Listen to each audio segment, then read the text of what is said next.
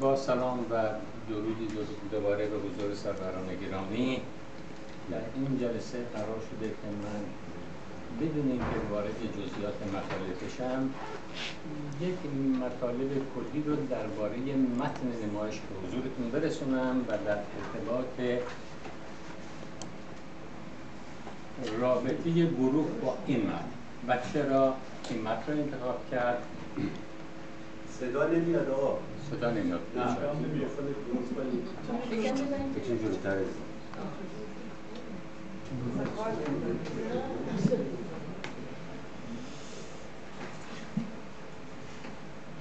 کمی درباره کلیات متن صحبت کنیم که ببینیم روشی که ما انتخاب کردیم برای به صحنه بردن این متن بر اساس چه نحوه نگریشی و چه طرز تفکری این متن یعنی صندوق لعنت نوشته آقای ایرج پزشکدار برای ما برای تک تک افراد گروه ما به منزله یک معدن تراست و از ارزش و اعتبار بی نهایت زیادی برخورد.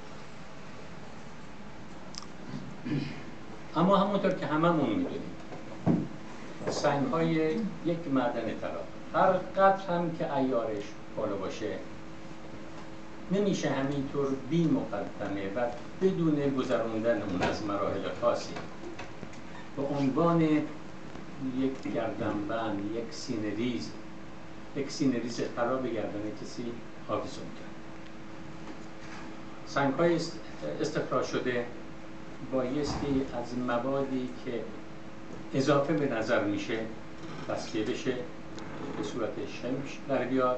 شمش در اختیار زرگر گذاشته باشه بشه تا اون دوباره اون رو در کوره زرگری خودش ذوب کنه شکل و فرم لازم رو به اون بده و بعد هم با اضافه کردن چند قطعه نگین های الماس و مرود برلیون و سنگ های گرون قیمت دیگه. از این قبیل اون رو آماده بکنه که این موقعیت رو پیدا بکنه تا به گردن, به گردن کسی آویخته بشه.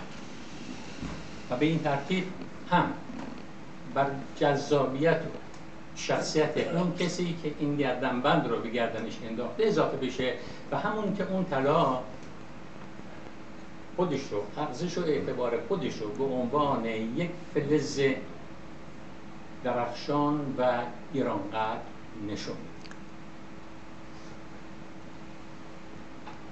حالا چرا این متن برای ما به عنوان یک معدن طلاست و نه به عنوان یک گردنبند ساخته و پرداخته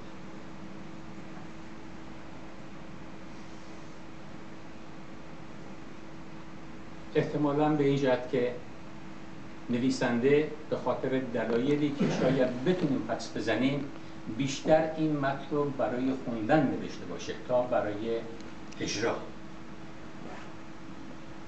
و به همین جهت هم جنبه روایی و داستانی اون بر کیفیت دراماتیک و اجراییش غلبه بیشتر دارد این کیفیتی است که در مورد چندین چندین که نمی‌تونم بگم ولی چند نمایشنامه فوق العاده با ارزش ایرونی هم صادقه نمایشنامه هایی مثل فرزن سوس مارودوده نوشته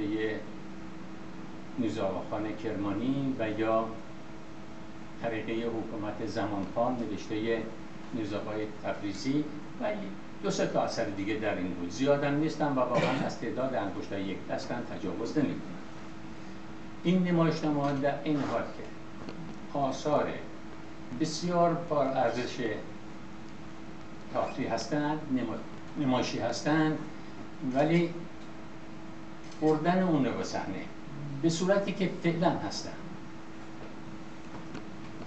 نه کاملا میسره و نه اگر واقعا کسی دست به چنین کاری بزنه نتیجه محدودی از اون آیدش میشه.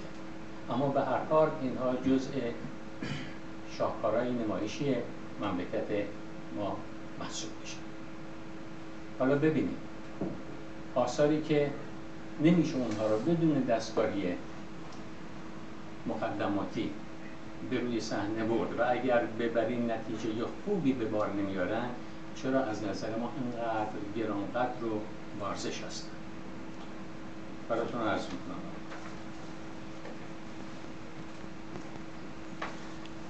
برای اینکه موضوعهایی رو مطرح می‌کنن که ضمن ساده بودن حامل نکات بسیار اساسی عمیق و ریشه داری هستند. مسائلی رو به بحث می‌کشن که قرنهای قبل در اقصا نقاط جهان واقع شدن و هنوز هم به وقوع میپیوندند. در زمان مولانا از اونها صحبت می‌شده به دوران قاجار جریان داشته. امروز هم در سپیده دم قرن 21 به خوبی نظیر اونها رو در اطراف خودمون می‌بینیم داستانهایی هستند که در هزار و یک شب گفته شده. در دکامرون نمونه های بسیاری از اونها رو می‌بینیم. در کمدی های بودی.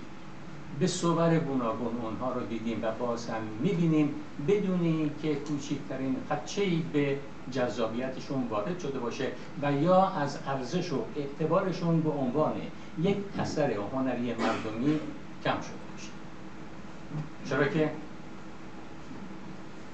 ضمن فراهم آوردن اسباب تفریح و سرگرمی حرف دل اکثر قریب اتفاق مردم زمان خودشون بودن و هنوز هم هست. حرفایی هستن که تقریبا همه در دل خودشون دارن ولی توانایی بیان اونو ندارن. شناخت اجتماعی و به شناخت اجتماعی و تجهیزات هنری لازم برای اونها مجهز نیستن. و وقتی که هنرمند به گونه هنرمندانه تاکید می‌کنم روی این لفظ به گونه هنرمندانه اونها را بیان کنه از دیدن و یا خوندن اونها به شدت لذت می‌برن و بالی خاصی در خودشون احساس می‌کنن. حس می‌کنن که یک بار سنگینی یک وزن بسیار سنگینی رو از روی قفسه سینهشون برداشتن البته به شرطی که همونطور که گفتم این موضوع های ساده و در بسیاری از مواقع بظاهر پیش پا افتاده که اغلب ما با مفاهیم با مفاهیم اونها کم و بیش هم آشنا هستیم به گونه هنرمندانه بیان شده باشه یعنی هنرمند با شیوه خودش به گونه دیگر اینها رو ارائه بده. به طوری که با شیوه گذشتگان زیاد تشابهی نداشته باشه. جنبه جنبه جدیدی رو آورده باشه. نه در داستان داستان داستان می‌تونه همون باشه. یعنی واقعا می‌تونن همون موضوع و همون داستان ها رو حتی دوباره نشون بدن. ولی به گونه ای که تازگی داشته باشه بدون اینکه هر لحظه ما رو حس کنیم. یعنی چنین یعنی آدم هاش جون داشته باشن زنده باشن. ما اون آدم ها رو دیده باشیم. پرسوناژهاشو از بین کسایی انتخاب کرده باشن که افراد زمان خودشون باشن. حتی اگر داستانشون وقایع داستان ها در گذشته جریان پیدا کرده باشه. چرا که هنرمند هنرمند هنرمند واقعی. وظیفه واگو کردن و بازگو کردن قصه گذشته رو نداره. شاهد صدیقی است برای اونچه که در زمان خودش میگذره حتی در قالب داستان های گذشته. پرسوناژهایی که انتخاب می‌کنه بایستی گوشت و خون داشته باشن بایستی تازگی داشته باشن بایستی با همدیگه متفاوت داشته باشن. رفتار و گفتارشون با هم فرق داشته باشن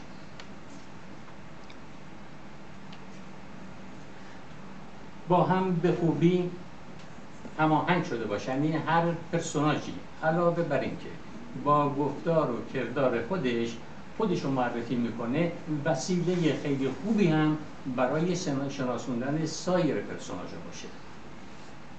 مطالبی که مطرح می‌کنه مطالب روز باشه. برای اعمالی که انجام میده انگیزه های درست داشته باشه. و دیگر اون که